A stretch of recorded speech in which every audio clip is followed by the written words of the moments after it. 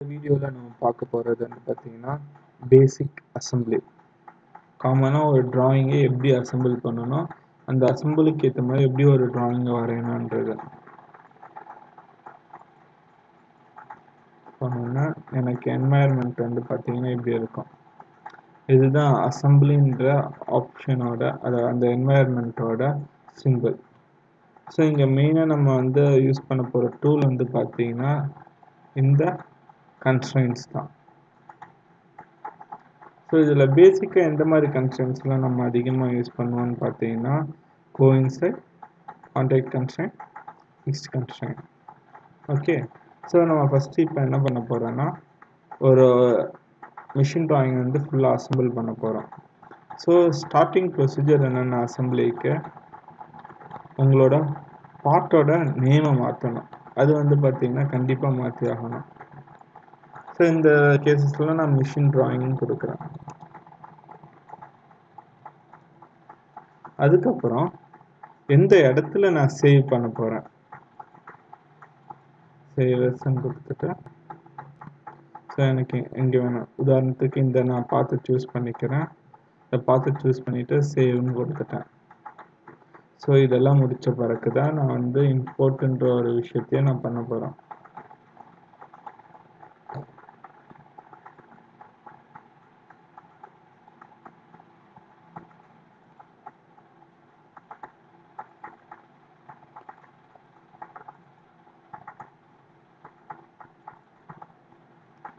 So simple ட்ராயிங்கை நம்ம வந்து பார்த்தீங்கன்னா இன்றைக்கி அசம்பிள் பண்ணலாம். Sleeve and cotter joint gib and cotter joint choose பண்ணலாம்.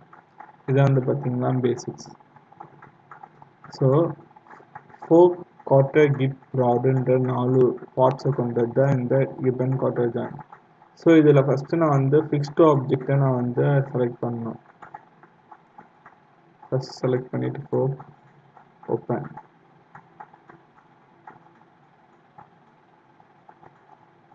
ஸோ ஓப்பன் ஆகிடுச்சு ஸோ பார்த்தீங்கன்னா நல்லா தெரியும். இங்கே வந்து பார்த்தீங்கன்னா நான் பார்ட் நேமோட இது பண்ணியிருக்கேன். ஸோ நீங்கள் வந்து ப்ளேலிஸ்ட்டில் போய் பார்த்தீங்கன்னா இந்த எக்ஸசைஸ் கிப்பன் குவார்ட்டர் ஜாயிண்ட் எப்படி நான் வரைகிறேன் எப்படி அசம்பிள் பண்ணணுன்ட்டு தனியாக இருக்குது அதே மாதிரி நிறைய எக்ஸசைஸ் ட்ராயிங் நான் போட்டு வச்சுருக்கேன். நீங்கள் பிளேலிஸ்ட்டில் பார்க்கலாம். நிறைய சாஃப்ட்வேருக்கு போட்டு வச்சுருக்கேன். ஃபஸ்ட்டு என்னோடய ஃபிஃப்த் ஆப்ஜெக்ட் இம்போர்ட் பண்ணோன்னா இது ஃபிக்ஸ்ன்னுட்டு செலக்ட் பண்ணணும். ஸோ ஒன்ஸ் நான் இந்த மாதிரி ஃபிக்ஸ் பண்ண பிறகு தான் அடுத்த ஆப்ஜெக்ட் கொண்டு வரும்போது என்னோடய மற்ற இதெல்லாம் எனேபிள் ஆகும். ஒன்ஸ் நான் முடிச்சுட்டு இதை செலக்ட் பண்ணணும். இதை செலக்ட் பண்ணிவிட்டு காம்போனண்ட் அந்த எக்ஸிட்டிங் காம்போனண்ட்டை செலக்ட் பண்ணோன்னு செகண்டு ஸோ இந்த மாதிரி வந்துடும். ஸோ பார்த்தீங்கன்னா நான் வரைஞ்ச ப்ரொசீஜரே வந்து பார்த்தீங்கன்னா அசம்பிள் ஆகிற மாதிரி தான் நான் வரைஞ்சிருக்கேன். அதாவது இந்த பிளெயின் அடிப்படையாக வச்சு வரைஞ்சிருக்கேன்.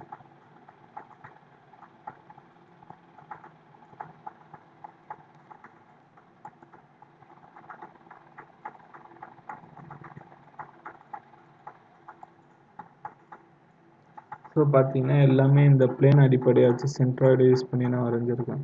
ஸோ இந்த மூவ் ஆப்ஷனை செலக்ட் பண்ணி ட்ராக் பண்ணிட்டு வந்து பார்த்தீங்கன்னா ஏதாச்சும் ஒரு ஃபேஸ்லேயோ பாயிண்ட்லேயோ ஒன்ஸ் கனெக்ட் பண்ண பிறகு இந்த மாதிரி க்ரீனிஷ் ஆகும்.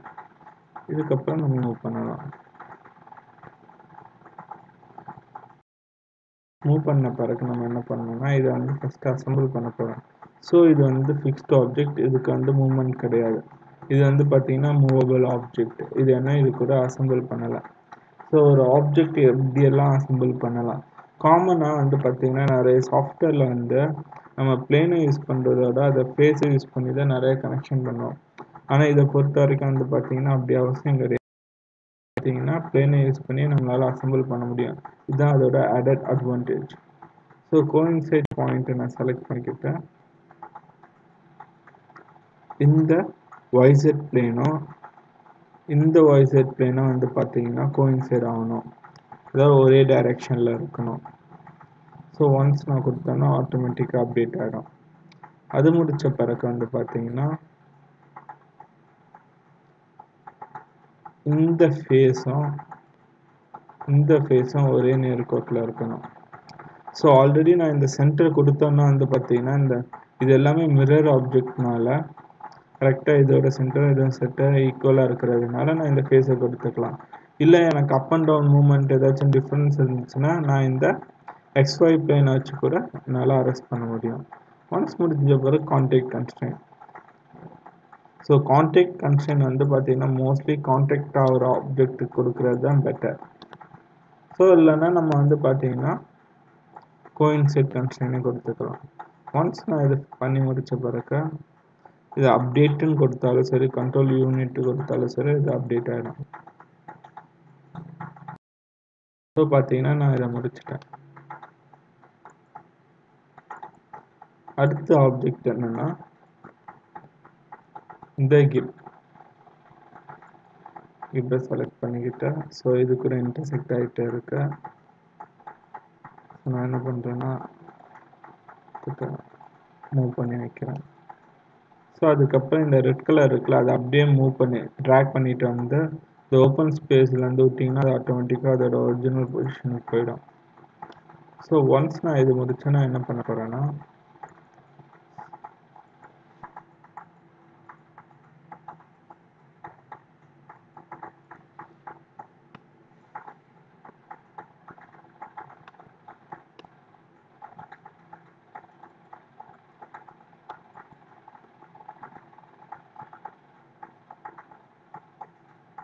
ஸோ இதுக்கு வந்து பார்த்தீங்கன்னா இதையும் நான் சென்டர் பண்ணுறேன் இந்த ஒய் ஜெட் பிளேனையும் இந்த மெயின் ஆப்ஜெக்டில் இருக்க ஒய் ஜெட் பிளேனையும் ரெண்டுத்தையும் செலக்ட் பண்ணிவிட்டு நான் வந்து கோயின்சைட் கொடுக்கலாம்.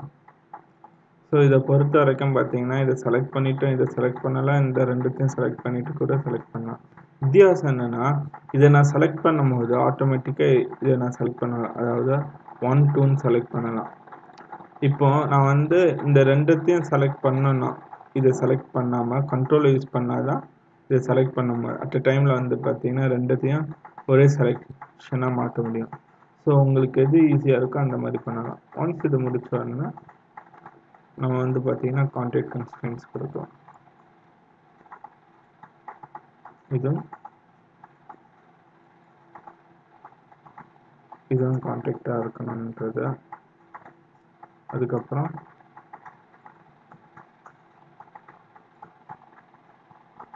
இதுவும்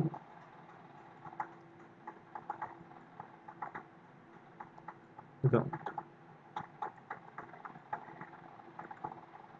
ஸோ அப்டேட்டுன்னு கொடுத்தா எனக்கு இந்த மாதிரி அப்டேட் ஆகிடும்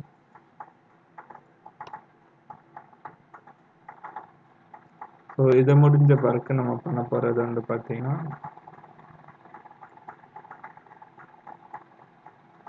இந்த காட்டன் ஸோ ஒன் பை ஒன்னாக தான் நம்ம பண்ணுறது வந்து பார்த்தீங்கன்னா பெட்டர் சாய்ஸாக இருக்கும். ஒரு பிகினருக்கு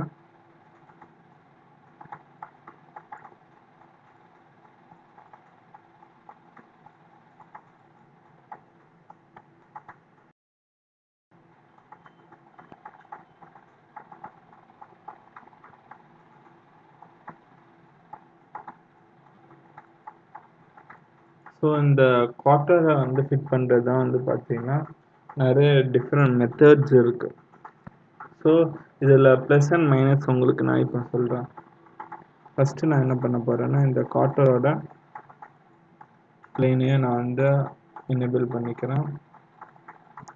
ஸோ அதே தான் கோயின்சைட் இதுவும் இதுவும்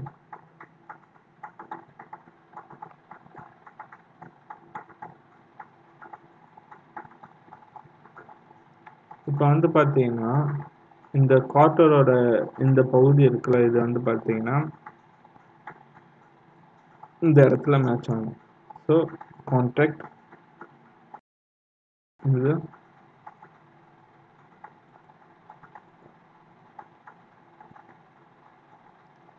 ஸோ இப்போ வந்து பார்த்தீங்கன்னா என்னென்னா வந்து இந்த இதுதான் ஸ்லோப்பாக தான் இருக்கு. இதுதான் ஸ்லோப்பாக தான் இருக்கு. வந்து பார்த்தீங்கன்னா கோயின்சைட் கன்ஸ்ட்ரெயின் வந்து கொடுக்க முடியாது. இதே நம்ம கான்டாக்ட் கன்ஸ்ட்ரெயின் கொடுக்கும்போது.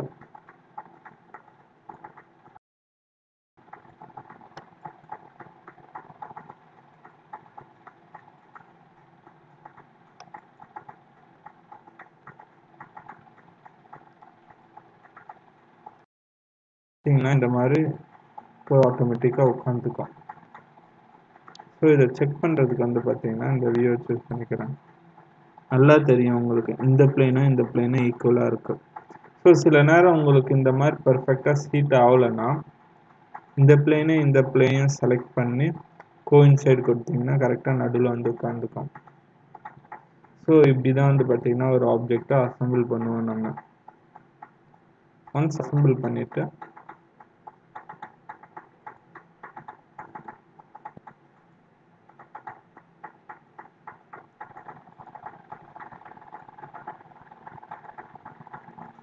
கன்ஸ்ட்ரெயின் வேண்டாம்னா அதை ஹைட் பண்ணிடலாம் அதை வந்து நம்ம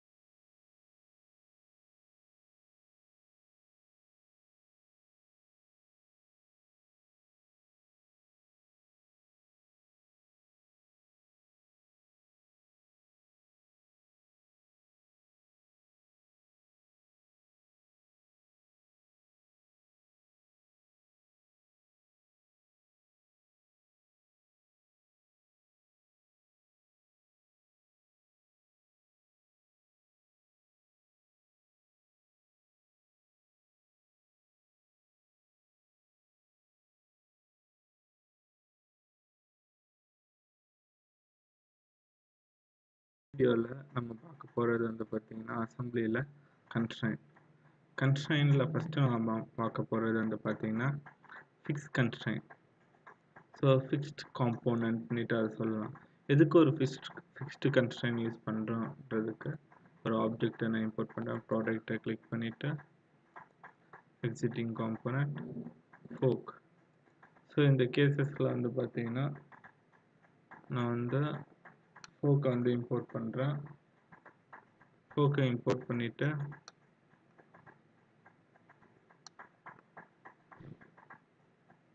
அதை ஃபிக்ஸ் பண்ண போகிறேன் ஸோ இந்த ஃபிக்ஸ் பண்ண போகிற ஆப்ஷன் தான் இந்த நங்குரம் மாதிரி இருக்கிறது ஃபிக்ஸ் காம்போனன்ட்டுன்றது ஸோ இந்த காம்போனண்ட்டை நான் ஃபிக்ஸ் பண்ண போகிறேன் ஸோ எதுக்கு ஃபிக்ஸ் பண்ணணும் அப்படின்னு பார்த்தீங்கன்னா இந்த காம்போனண்ட்டுக்கு வந்து பார்த்தீங்கன்னா இப்போ டிகிரி ஆஃப் ஃப்ரீடம் இருக்குது ஸோ டிகிரி ஆஃப் ஃப்ரீடம்ன்றது வந்து பார்த்தீங்கன்னா மூணு டிரான்ஸ்லேஷன் மூணு ரொட்டேஷன் ஸோ டோட்டலாக ஆறு.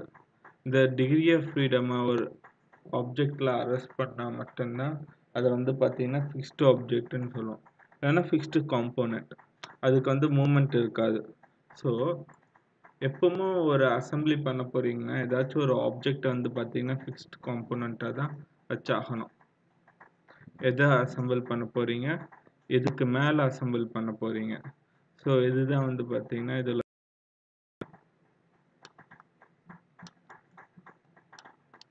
ஸோ பார்த்தீங்கன்னா இப்போ இதை அடிப்படையாக வச்சு தான் நான் ஆப்ஜெக்ட் வந்து அசம்பிள் பண்ண போகிறதுனால இதை நான் ஃபிக்ஸ் பண்ணிக்கிறேன்.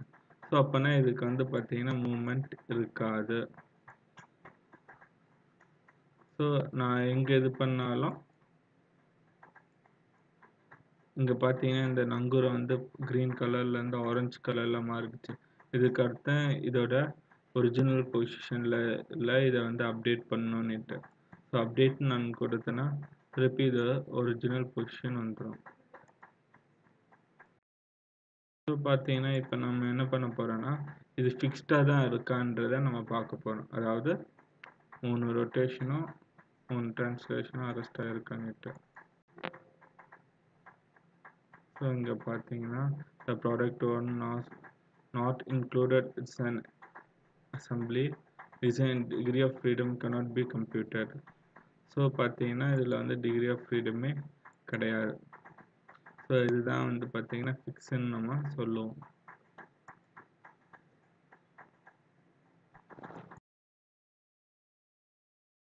இந்த வீடியோவில் நம்ம பார்க்க போகிறது வந்து பார்த்தீங்கன்னா கன்ஸ்ட்ரைனில் coincide constraint so coincide constraint எதுக்கு யூஸ் பண்ணுவாங்கன்னா ஒரு ஃபிக்ஸ்டு ஆப்ஜெக்டோ இல்லைன்னா டிகிரி ஆஃப் ஃப்ரீடம் மூலமாக அரெஸ்ட் பண்ண ஆப்ஜெக்ட்டுக்கு உள்ள ஒரு ஆப்ஜெக்டை இன்சர்ட் பண்ண யூஸ் பண்ணுற டூல் தான் கோயின்சைட் ஸோ இதுக்கு சாம்பிள் வந்து பார்த்தீங்கன்னா நான் ஒரு ஆப்ஜெக்ட் இம்போர்ட் பண்ணுறேன் ஸோ ராடை இம்போர்ட் பண்ணுறேன்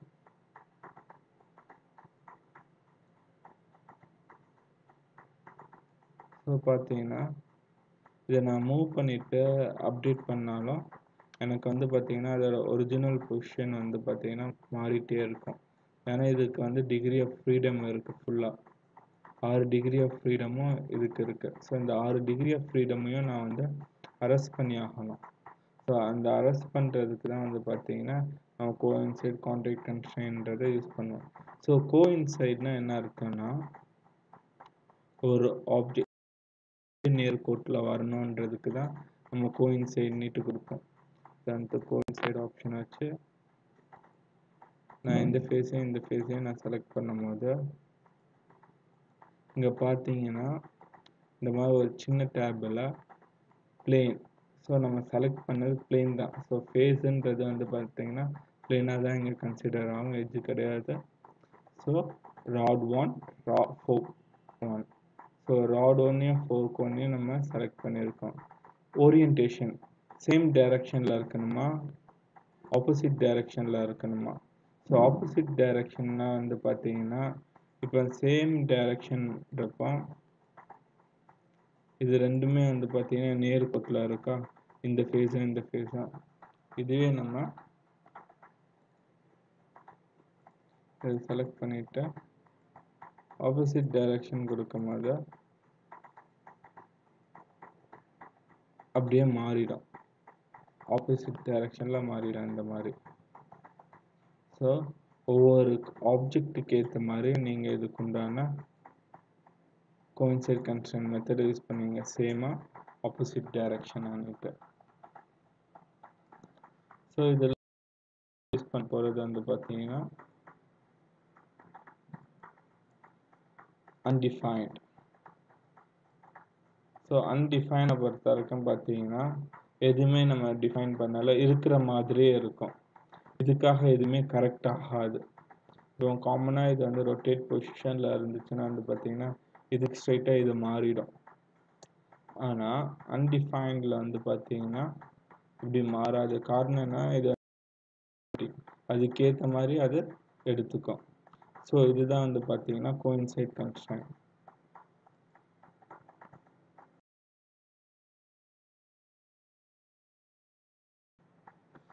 இந்த வீடியோவில் நம்ம பார்க்க போகிறது வந்து பார்த்தீங்கன்னா கான்டாக்ட் கன்ஸ்டைன் ஸோ இதுக்கு ப்ராட் இன்செட் பண்ணுறேன் வச்சுட்டேன். ஸோ ஃபஸ்ட்டு நமக்கு கான்டாக்ட் கன்ஸ்டைனுக்கும் கோயின்சைட் கன்ஸ்டைனுக்கும் இருக்கிற வித்தியாசம் தெரியணும். ஸோ எதை எதுக்காக யூஸ் பண்ணுறாங்கன்றதையும் தெரிஞ்சிருக்கணும்.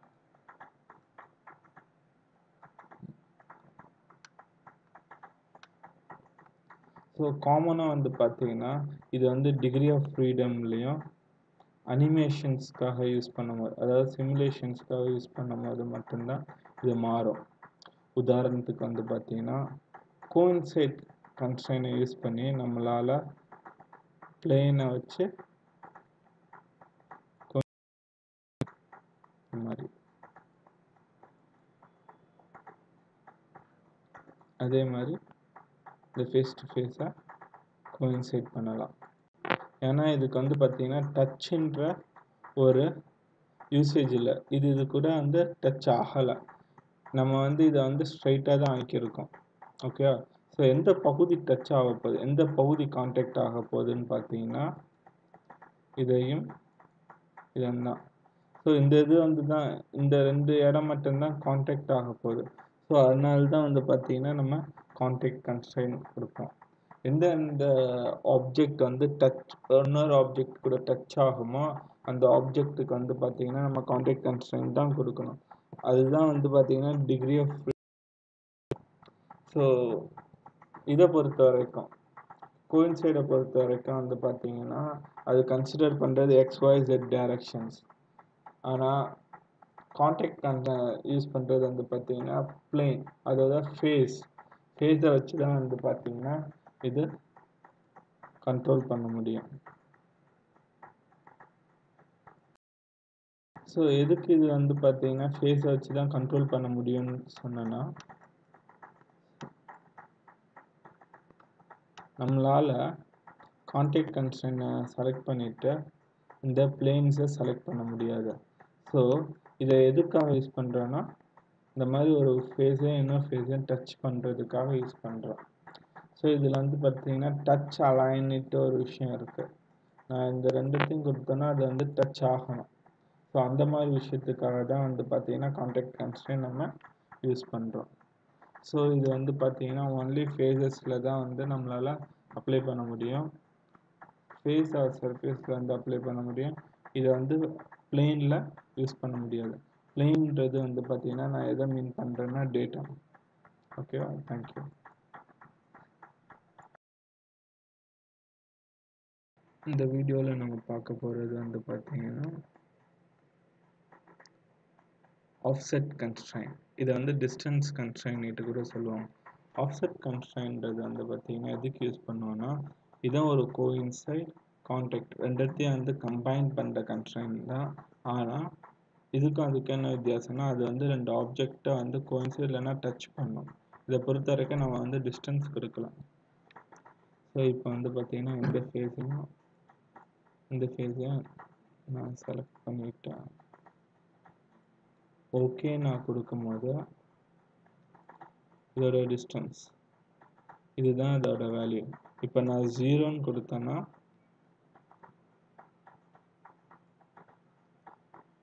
அது வந்து பார்த்தீங்கன்னா டச் ஆகும். ஸோ ஜீரோ கொடுக்காம some distance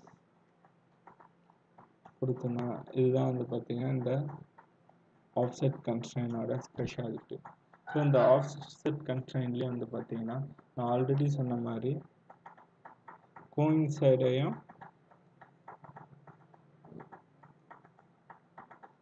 contact constraint combine பண்ணதுனால கோயின்சைடில் இருக்கிற ஆப்ஷன் எல்லாமே இதில் இருக்கும். ஆப்போசிட் டைரக்ஷனும் இருக்கும். சேம் டைரக்ஷன் ஸோ இந்த ரெண்டு பாசிபிலிட்டிஸும் இதில் இருக்கும். இதுக்கேற்ற மாதிரி நீங்கள் வந்து சூஸ் பண்ணிவிட்டு வேல்யூ கொடுத்துக்கலாம். இது வந்து கோயின் சைடு ரிலேட்டடாகவும் யூஸ் பண்ணிக்கலாம். கான்டாக்ட் ரிலேட்டடாகவும் யூஸ் பண்ணிக்கலாம். அதாவது இதை யூஸ் பண்ணி நம்ம பிளேனையும் செலக்ட் பண்ணிக்கலாம். அதாவது டேட்டாவையும் செலக்ட் பண்ணிக்கலாம். ஃபேஸையும் செலக்ட் பண்ணிக்கலாம். எட்ஜையும் செலக்ட் பண்ணிக்கலாம். ஸோ இதுதான் வந்து பார்த்தீங்கன்னா ஆஃப்செட் கன்ஸ்ட்ரைன்ட்டு நம்ம சொல்லுவோம்.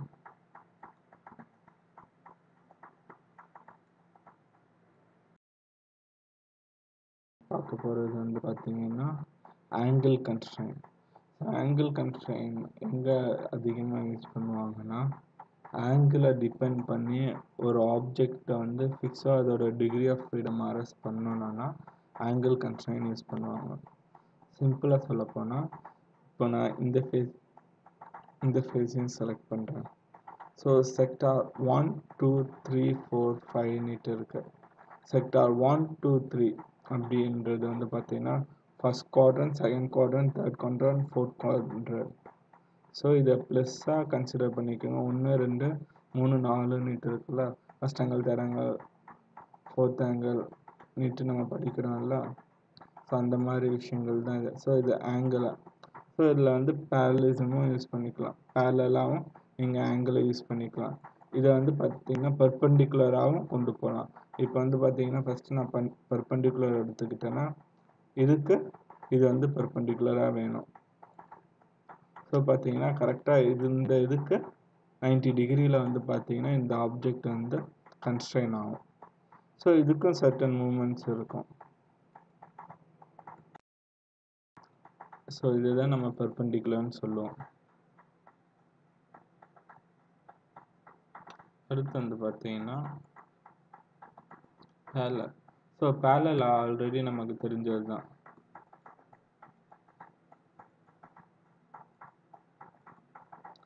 பேலரிசம் ஆல்ரெடி நமக்கு தெரிஞ்சது தான் ஸோ உங்களுக்கு சேம் டைரக்ஷன் வேணுமா ஆப்போசிட் டைரக்ஷன் வேணுமா? இது வந்து பார்த்தீங்கன்னா கிட்டத்தட்ட கோயின்சைட் ஆப்ஜெக்டை வந்து டிபெண்ட் பண்ணி தான் இருக்கும். ஆனால் இதுக்கு சர்டன் ஃபார்மேஷன்ஸ் கொடுக்குறோம் கோயின்சைடுக்கும் பேலலுக்கும் வந்து நிறைய டிஃப்ரென்ஸ் இருக்குது கோயின்சைடு வந்து பார்த்திங்கன்னா ஏதாச்சும் ரெண்டு ஆப்ஜெக்ட் வந்து எந்த பொசிஷன் இருந்தாலும் கோயின்சைட் பண்ணும். ஆனால் பேலல் ஆப்ஜெக்ட் பேலலிசம் வந்து பார்த்தீங்கன்னா பேலலை டிபெண்ட் பண்ணி இருக்கிற ஆப்ஜெக்டை மட்டும்தான் பேலல் பண்ணும். மற்ற காம்ப்ளிகேட் ஆப்ஜெக்டை பண்ணாது. ஸோ அதனால தான் அந்த இடத்துல நம்ம கோயின்சைட்னுட்டு ஒரு ஆப்ஷன் அதிகமாக use compared to angle so இதை தவிர்த்து நம்ம மூணாவதாக பார்க்க போகிறது தான் வந்து பார்த்தீங்கன்னா இந்த ஆங்கிள் ஸோ இந்த ஆங்கிளை நான் செலக்ட் பண்ணிவிட்டு எனக்கு எந்த குவாட்ரண்ட் வேணும்? ஒன் எயிட்டி டிகிரியா இல்லைனா ninety five degree sorry one thirty five டிகிரியா இல்லைனா த்ரீ சிக்ஸ்டி டிகிரியா ஸோ இதை நான் டிபெண்ட் பண்ணுறேன் ஜீரோலேருந்து ஆரம்பிக்கும் ஒன் எயிட்டிலேருந்து ஆரம்பிக்கும். இது வந்து ஆப்போசிட் டைரெக்ஷன் ஒன் எயிட்டிலேருந்து ஆரம்பிக்கும். இது வந்து த்ரீ சிக்ஸ்டி டிகிரிலேருந்து அதாவது ஜீரோலேருந்து இது ஆரம்பிக்கும். ஸோ எது எனக்கு வேணுன்றதை நான் கொடுத்துக்கலாம். ஸோ நான் வந்து ஜீரோன்னுட்டு நான் ஃபஸ்ட் செக்டான்னு கொடுக்கும்போது இங்கே வந்து நான் ஆங்கிளில் வந்து ஸ்பெசிஃபை பண்ணுறேன் செகண்ட் செக்டார் அண்ட் தேர்ட் செக்டார்லலாம் நான் ஆங்கிளை பர்டிகுலராக ஸ்பெசிஃபை பண்ணுறேன் இவ்வளோ டிகிரி வேணும்னுட்டு. இல்லைனா ஓகேன்னு கொடுத்தா அதுக்கேற்ற மாதிரி டிகிரி அது எடுத்துக்கும் ஸோ ஒன் எயிட்டி டிகிரினால ஒன்று தான் த்ரீ சிக்ஸ்டி டிகிரினால ஒன்று தான் ஜீரோ டிகிரினாலும் ஒன்று தான் இந்த பொசிஷனை பொறுத்த வரைக்கும். அதை தவிர்த்து நம்ம மாற்றும் போது. அது வந்து பார்த்திங்கன்னா மாறும் இந்த மாதிரி தலைகீழ. ஸோ அந்த ஆப்ஜெக்டை நம்ம ரொட்டேட் பண்ணி யூஸ் பண்ணுறதுக்கும் இதை அதிகமாக யூஸ் பண்ணுவோம். ஸோ இதை தான் வந்து பார்த்திங்கன்னா நம்ம வந்து ஆங்கிள் கன்ஸ்டன்ட்டு சொல்லுவோம். ஸோ ஆங்கிள் கன்ஸ்டன்ட் முழுக்க முழுக்க சிமுலேஷன் ரிலேட்டட் ஆப்ஜெக்ட்டுக்காக மட்டும்தான் யூஸ் பண்ணுவாங்க.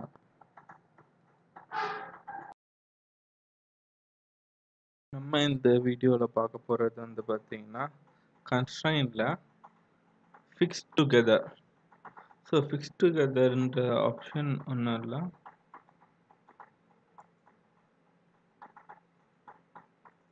இப்போ நார்மலாக ஃபிக்ஸுன்ற ஆப்ஷன் வச்சு ஒரு ஆப்ஜெக்டை ஒரு பொசிஷனில் வந்து பார்த்தீங்கன்னா நான் வந்து ஃபிக்ஸ் பண்ண முடியும்.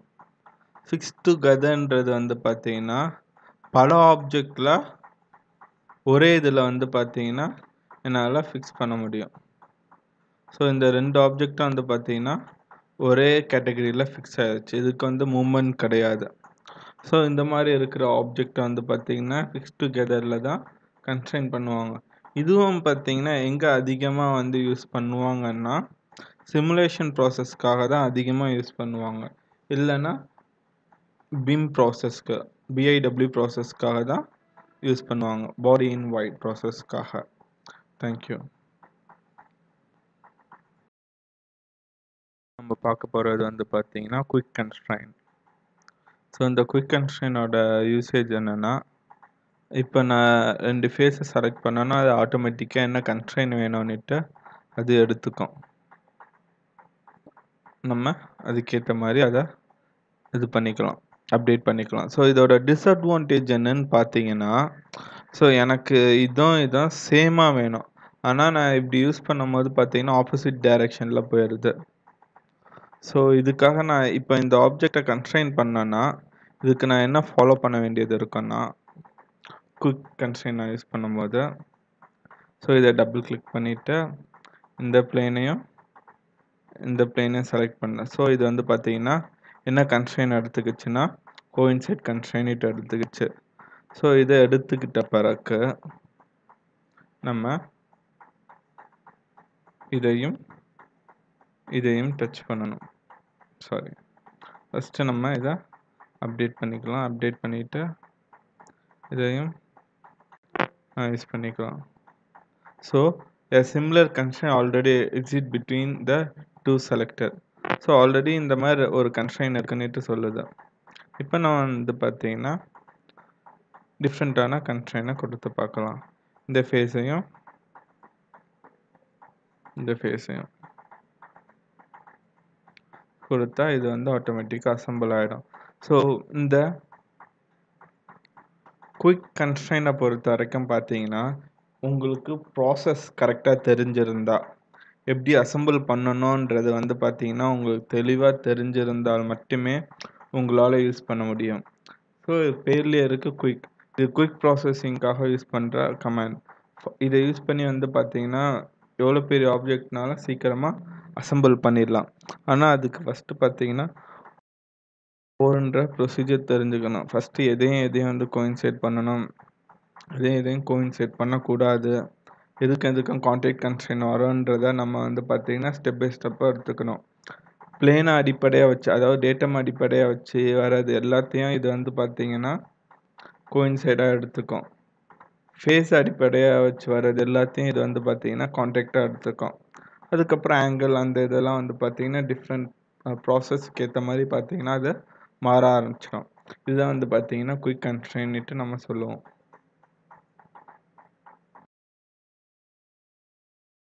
இந்த வீடியோவில் பார்க்க போகிறது வந்து பார்த்தீங்கன்னா சேஞ்ச் கன்ஸ்ட்ரைன் ஸோ இதுக்கு நான் ஃபஸ்ட்டு என்ன பண்ண போகிறேன்னா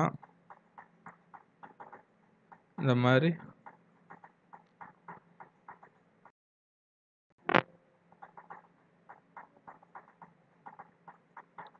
கொடுத்துட்டா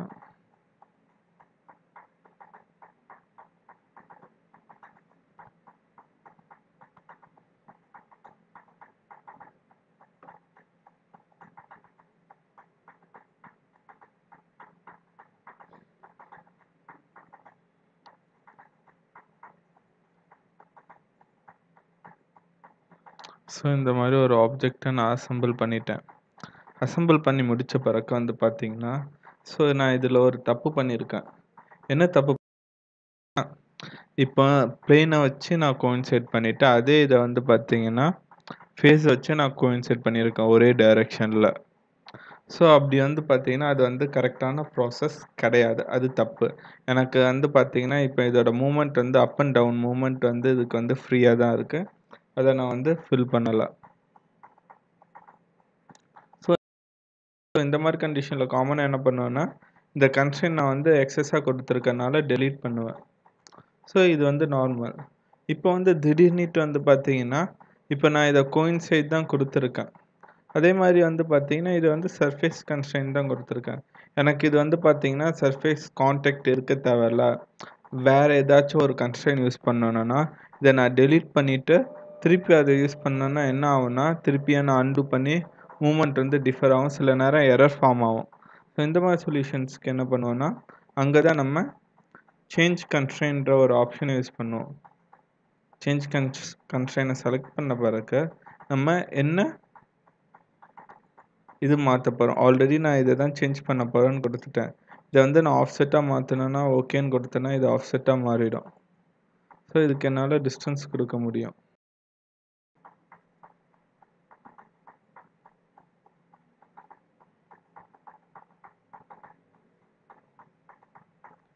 இல்லை இதை கோயின்சைடாக மாற்றணுனாலும் என்னால் மாற்ற முடியும்.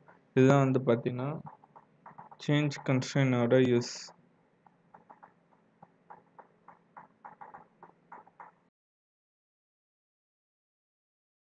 நம்ம பார்க்க போகிறது வந்து பார்த்திங்கன்னா ரியூஸ் பேட்டர்ன் ஸோ இதுக்கேற்ற மாதிரி ஒரு ஆப்ஜெக்டாக நான் வந்து இம்போர்ட் பண்ணுறேன்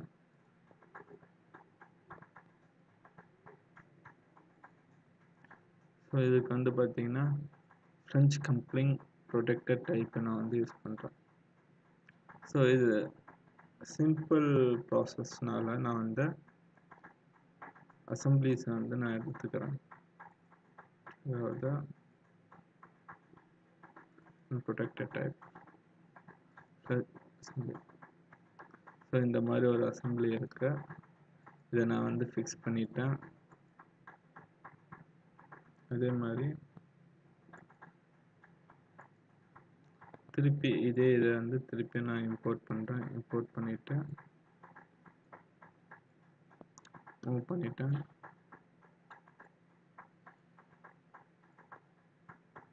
ரொட்டேட் பண்ணிட்டேன். ரொட்டேட் பண்ணிவிட்டு இதையும் ஸ்லைட் ரொட்டேட் கொடுக்குறேன்.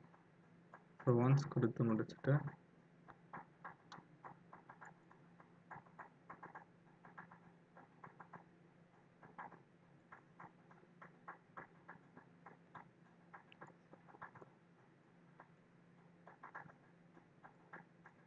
பார்த்தீங்கன்னா ரெண்டுமே ஒரே பொசிஷனில் இருக்கிறதுனால நான் மாற்றி மூவ் பண்ணிட்டேன். இது செலக்ட் பண்ணி மூவ் பண்ணிவிட்டு ரீஃப்ரெஷ் ஒரிஜினல் பொசிஷனுக்கு போயிடும்.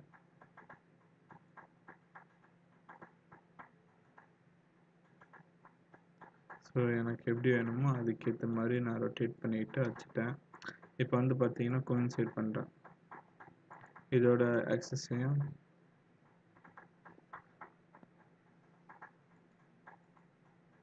இதோட ஆக்சஸையும் இதோட ஆக்சஸையும் கோயின்சைட் பண்ணுறேன் அதே மாதிரி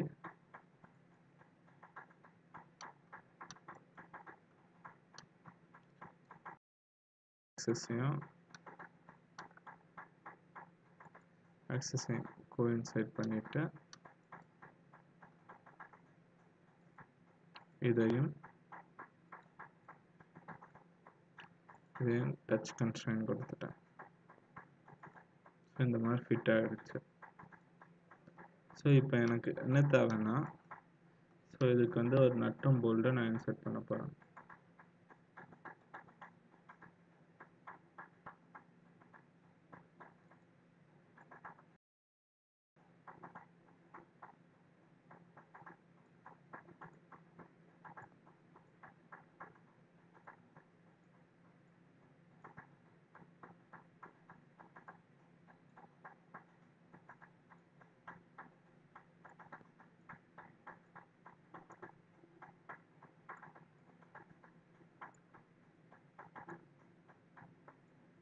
ஸோ இதை நான் மூவ் பண்ணி தள்ளி வச்சுக்கிறேன். ஸோ அது கூட நான் வந்து பார்த்தீங்கன்னா என்னோட அட்டையும் செட் பண்ணிக்கிறேன்.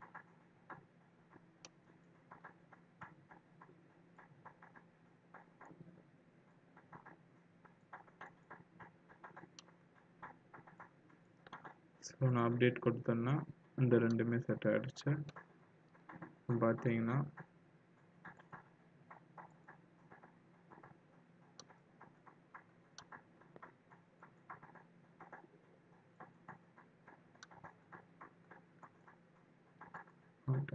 கான்டாக்ட் இது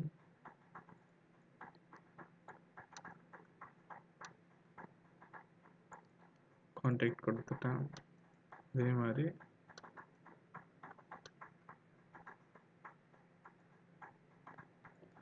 இதையும்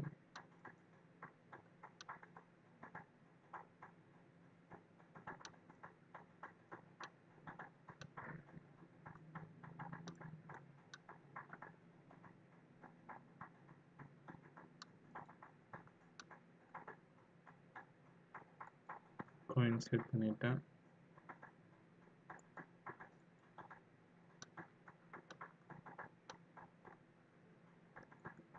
இதையும்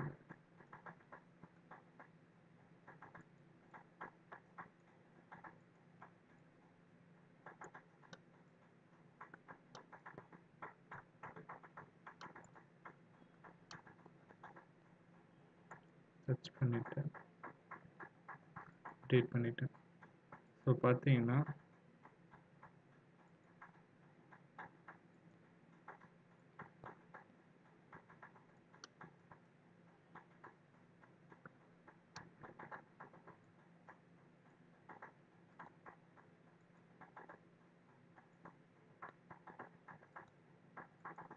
ஹைட் பண்ணிட்டேன் இப்போ நான் நட்டையும் போல்டையும் இன்சர்ட் பண்ணிட்டேன். ஸோ இந்த ஒரு நட்டையும் போல்டையும் இன்சர்ட் பண்ண எனக்கு இவ்வளோ நேரம் எடுக்குது. இத்தனை ப்ராசஸ் பண்ண வேண்டியது இருக்குது இப்போ என்ன மூணு போடணும்? ஸோ ஒவ்வொரு நேரமும் இந்த ப்ராசஸ் பண்ணாமல் ஒரே ப்ராசஸை வந்து ரிப்பீட் பண்ணுறதுக்கு தான் இந்த ரீயூஸ் பேட்டர்ன் ஸோ இந்த ரீயூஸ் பேட்டர்ன் பண்ணோன்னா இந்த ஹோல்ஸ் எல்லாம் வந்து பார்த்தீங்கன்னா பேட்டர்ன் அடிப்படையாக வச்சு நம்ம உருவாக்கியிருக்கணும். அதாவது ரியூஸ் பேட்டர்னோட ஃபார்மேஷன் என்னென்னா இங்கே நான் பேட்டர்னில் யூஸ் பண்ண இந்த சர்க்குலர் பேட்டர்னை வச்சு தான் இப்போ இந்த ஆப்ஜெக்டை வந்து ரீயூஸ் பண்ண போகுது. ஸோ ரீயூஸ் பேட்டர்னை செலக்ட் பண்ணிக்கிட்டு இந்த போல்டு செலக்ட் பண்ணிக்கிட்டு இந்த பேட்டர்னையும் செலக்ட் பண்ணால் எனக்கு வந்து இது வந்து ப்ளேஸ் ஆகிடும் இது வந்து பார்த்தீங்கன்னா இதில் வந்து கண்டிஷன் இருக்குது reuse the original component so already இருக்கிற ஒரிஜினல் காம்போனண்ட் வந்து பார்த்திங்கன்னா ரீயூஸ் பண்ணும். அதாவது டூப்ளிகேட் பண்ணும். கிரியேட் எ நியூ இன்ஸ்டன்ட் அதாவது ஒரு புது இதை க்ரியேட் பண்ணணுமா cut and paste the original component cut and பேஸ்ட்ன்றது வந்து பார்த்தீங்கன்னா இதில் இருக்க கன்ஸ்டன் எல்லாமே சேர்த்து இது பண்ணுறது ஃபஸ்ட்டு நான் வந்து காமனான ரீயூஸ் த ஒரிஜினல் காம்போனண்ட்டை வச்சு இது பண்ணுறேன் ஓகே ஸோ அதே மாதிரி திருப்பியும் ரீயூஸ் யூஸ் பண்ணுறேன் பேட்டர்னை செலக்ட் பண்ணுறேன் காம்போனண்ட்டை செலக்ட் பண்ணுறேன் ஓகே ஸோ இதில் என்ன வித்தியாசம் இருக்குது அப்படின்னு பார்த்தீங்கன்னா இது எல்லாமே வந்து பார்த்தீங்கன்னா ரீயூஸ் ஆகிடும் அதாவது அத்தனை number of bolts and nuts வந்து பார்த்தீங்கன்னா க்ரியேட் ஆகிடும் இதில் டிஸ்அட்வான்டேஜ்னுட்டு பார்த்தீங்க டிஸ்அட்வான்டேஜ்னு சொல்ல முடியாத இதுக்குன்னுட்டு தனி ப்ராசஸ் இருக்குல்ல சில சாஃப்ட்வேரில் பார்த்தீங்கன்னா மல்டிபிள் ஆப்ஜெக்டை வந்து நம்மளால் பேட்டர்ன் பண்ண முடியும். அதாவது ரீயூஸ் பண்ண முடியும். ஆனால் இதை பொறுத்த வரைக்கும் நம்ம வந்து பார்த்தீங்கன்னா ஒவ்வொரு ஆப்ஜெக்டாக தான் ரீயூஸ் பண்ண முடியும். ஸோ இப்போ இதுக்கு வந்து நிறைய காம்ப்ளிகேட்டட் பார்ட்ஸ் இருந்துச்சுன்னா உதாரணத்துக்கு வந்து ஒரு போல்டு லாக் நட்டு அதுக்கப்புறம் நார்மல் நட்டு கீ அந்த மாதிரிலாம் நிறைய விஷயங்கள் இருந்துச்சுன்னா ஸோ ஒவ்வொன்றா வந்து ஒவ்வொரு நேரமும் பண்ணும்போது கொஞ்சம் டைம் எடுக்கும். ஸோ ப்ராசஸும் கொஞ்சம் லாங்காக இருக்கிற மாதிரி இருக்கும். ஸோ இருந்தாலும் ரீயூஸ் பேட்டர்ன்றது வந்து பார்த்திங்கன்னா ஒரு ஒண்டர்ஃபுல் டூல் இதை வச்சு நீங்கள் நிறைய நட் அண்ட் போல்ஸு தான் அசம்பிள் பண்ணுவீங்க. ஸோ ஆல்ரெடி நம்ம பாட்டில் வந்து டிஃப்ரெண்ட் கைண்ட் ஆஃப் பேட்டர்ன்ஸ் பார்த்தோம். அந்த பேட்டர்ன்ஸை வச்சு நீங்கள் வந்து ஒரு நட்டையும் போல்டையும் நூறு ஐநூறு கூட ஒரே நேரத்தில் வந்து நம்மளால் அசம்பிள் பண்ண முடியும் இன்செர்ட் பண்ண முடியும். தேங்க்யூ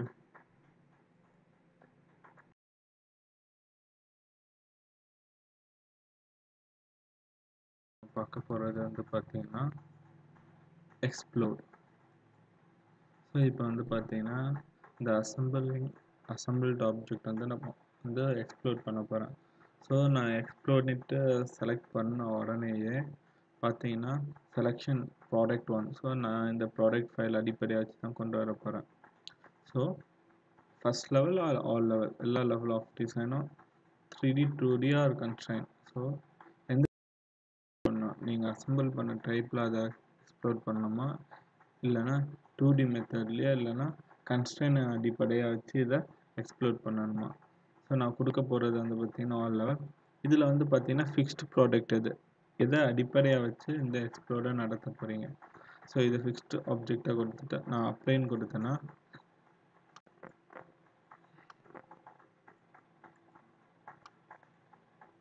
பார்த்தீங்கன்னா எனக்கு எக்ஸ்ப்ளோர் வந்துடும் ஸோ இந்த எக்ஸ்ப்ளோர் என்னால் கண்ட்ரோல் பண்ண முடியும்.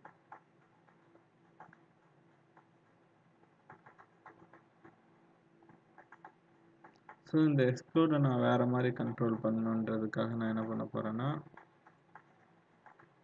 நான் இதை இப்படி தூக்குறேன்.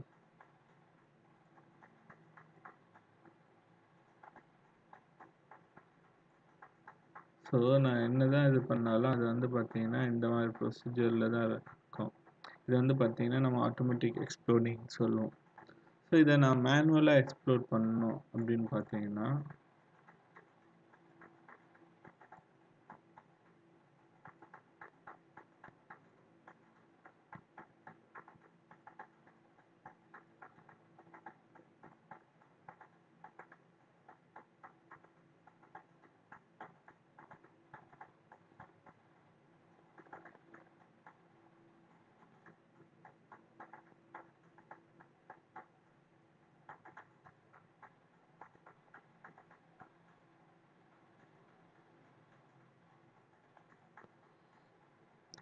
ஸோ இதை இந்த மாதிரி நீங்கள் எக்ஸ்ப்ளோர் பண்ணலாம். ஸோ நீங்களே மேனுவலாக எங்கே வேணுமோ அதை இது பண்ணிடலாம்.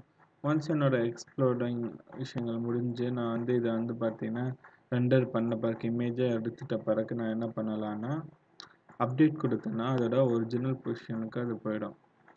ஸோ இதுதான் நம்ம வந்து எக்ஸ்ப்ளோர் மெத்தட்னு சொல்லுவோம்.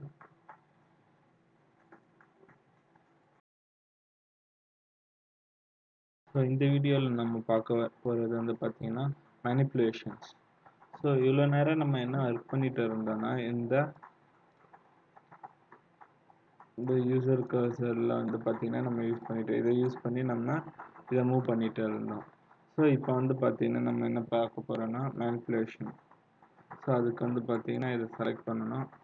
ஸோ இந்த மேனிப்புலேஷன் வந்து பார்த்தீங்கன்னா இதில் வந்து உங்களுக்கு x y z xy yz axis x yz rotation so இதுக்கு என்ன அர்த்தம் வந்து பார்த்தீங்கன்னா மூணு ரொட்டேஷன் அண்ட் மூணு டிரான்ஸ்லேஷன் டிகிரி ஆஃப் ஃப்ரீடம்மை பண்ணோம் உதாரணத்துக்கு நான் எக்ஸை செலக்ட் பண்ணிவிட்டு இதை செலக்ட் பண்ணேன்னா என்னால் இப்படி மட்டும்தான் மூவ் பண்ணவே முடியாது ஸோ இந்த டைரக்ஷன் எக்ஸ் டைரக்ஷனில் தான் என்னால் மூவ் பண்ண முடியும்.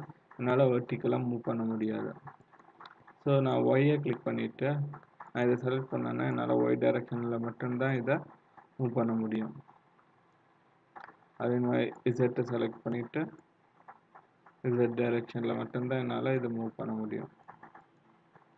ஸோ அதை தவிர்த்து வந்து பார்த்தீங்கன்னா ட்ராக் அலாங் எனி ஆக்சஸ் நீட்டு நம்ம ஒரு ஆக்சஸ் அடிப்படையாக வச்சு இந்த ஆக்சஸ் வழியாக இப்படி கொண்டு போகலாம். ஸோ இதுதான் என்னோட ஆக்சஸ்னால் இந்த வெள்ளை லைன்னா இந்த வெள்ளை லைன் அடிப்படையாக வச்சுன்னா நான் ரிமூவ் பண்ணலாம்.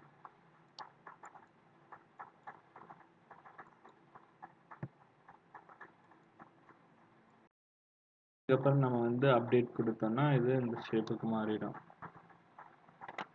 அடுத்து வந்து பார்த்தீங்கன்னா எக்ஸ்ஒய் ஸோ இது வந்து பார்த்தீங்கன்னா எக்ஸ்ஒய் பிளேனில் மூவ் ஆகும். மேலே போகாது கீழே போகாது எக்ஸ்ஒய் பிளேனை அடிப்படையாக வச்சு இது மூவ் ஆகிட்டே இருக்கும். இது வந்து பார்த்தீங்கன்னா இந்த y z plane y z plane அடிப்படையாக வச்சு இதை வந்து பார்த்தீங்கன்னா மூவ் ஆகிட்டு ஸோ உங்கள் கண்ணுக்கு வந்து பார்த்தீங்கன்னா இது த்ரீ சிக்ஸ்டி டிகிரியில் சுற்றுற மாதிரி தெரியும். ஆனால் இது மூவ் ஆகிட்டு இருக்கிறது என்னவோ பார்த்தீங்கன்னா ஒய்செட் பிளேன் அதே மாதிரி ஜெட் எக்ஸ்னால் ஜெட் எக்ஸ் பிளேன் வச்சு தான் அதை மூவ் பண்ண முடியும். இது வந்து பார்த்தீங்கன்னா ஆக்சிஸ் டைரக்ஷன் ஸோ எந்த ஃபேஸ் வேணும்னுட்டு நான் கொடுத்துட்டேன்னா அந்த ஃபேஸில் மட்டும் இது மூவ் ஆகிட்டே இருக்கும்.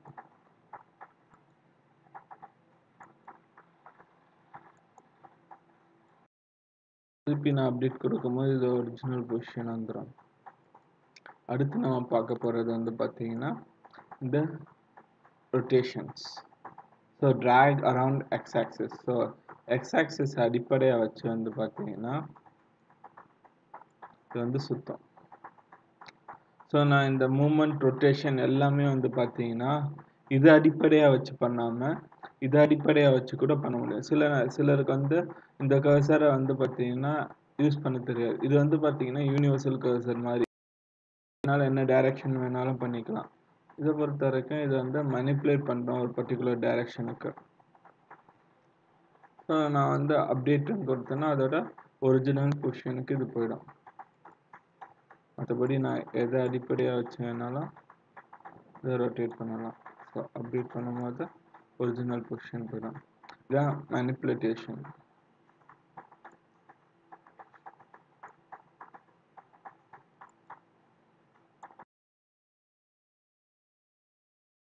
Yeah.